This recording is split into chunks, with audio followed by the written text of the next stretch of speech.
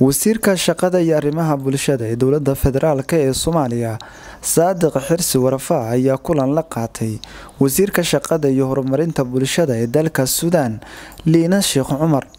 Kulankan oo ay wasiirka ku wehelinayeen safiirka jamhuuriyadda federaalk ee soomaaliya ambasador maxamed sheekh isxaaq madaxa ganacsiga ee safaaradda yuusuf axmed xasan xubno ka socday labada wasaaradood labada wasiir ayaa ka wada hadlay iskaashiga labada dhinac ee soomaaliya iyo suudaan iyo sidii la ysaga kaashan lahaa arrimaha horumarinta ee bulshada.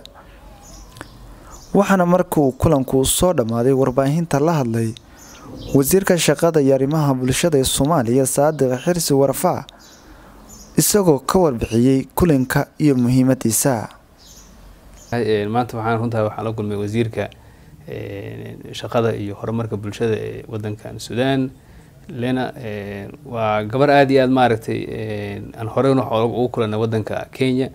Waxaan ka wada hadalnay iskaashiga dheer ee ka dhexeeya labada dal soomaaliya iyo suudaan waxaan kaloo ka wada hadalnay sidii labada wasaaradood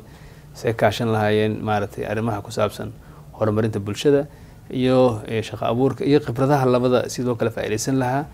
marka aada baa runtii suudaan waxaa wey hadda arday badan oo soomaaliya ayaa halkan wax ka barata.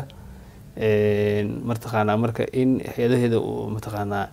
oo kambaniyada ku yaalla ama wasaaradahooda in ardaydaas lagu siiyo wax layahdo internship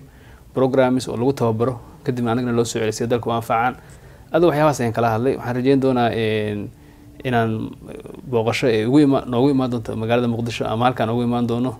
bilaral oo labada wadana. Marka iyadana kulan aada u fiican oo iska fahana. Waxaan kaloo ugu hambaliyeyey isbeddelka ka dhacay